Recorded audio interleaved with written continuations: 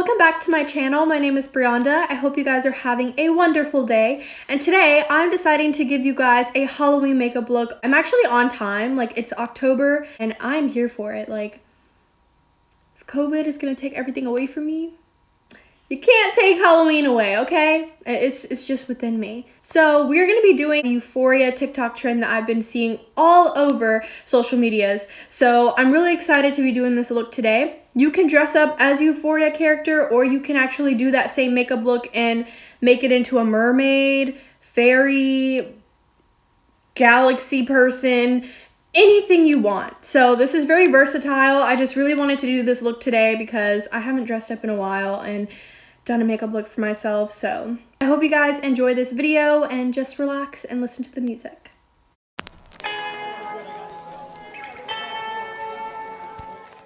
Small disclaimer before I start doing the, you know, the whole look.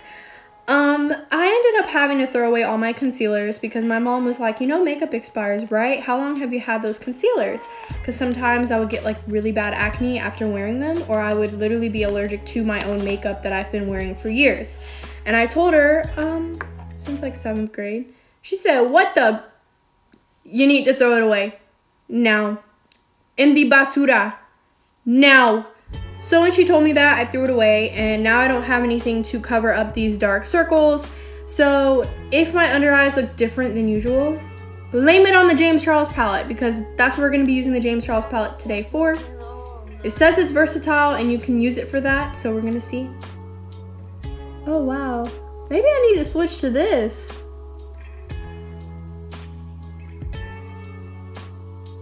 Anyway, okay, I'm not gonna lie, like it actually did something and it's kind of scary because I didn't expect it to actually look like for real like powder but it's not that bad. Okay period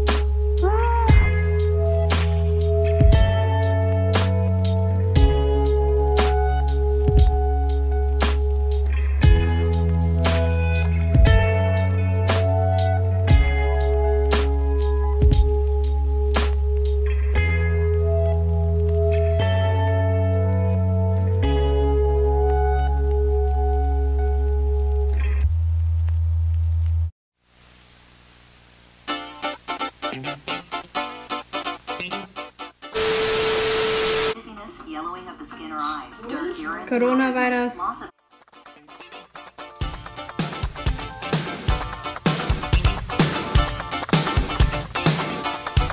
Yeah, you got that